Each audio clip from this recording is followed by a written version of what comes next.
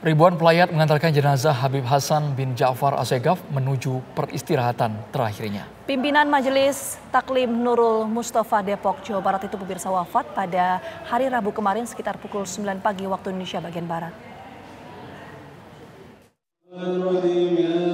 Waktu zuhur belum lama bergulir ketika jenazah Habib Hasan bin Ja'far Asegaf yang usai disolatkan diantarkan ribuan pelayatnya menuju lokasi pemakaman di Hubabah, Fatma Alatas hari ini. Lokasi pemakaman itu disebut pula sebagai makam Al-Waliyah Sarifah Fatmah binti Hasan Alatas dan masih berada di kompleks Masjid Nurul Mustafa Center, Jalan Kampung Sawah, Cilodong, Depok, Jawa Barat.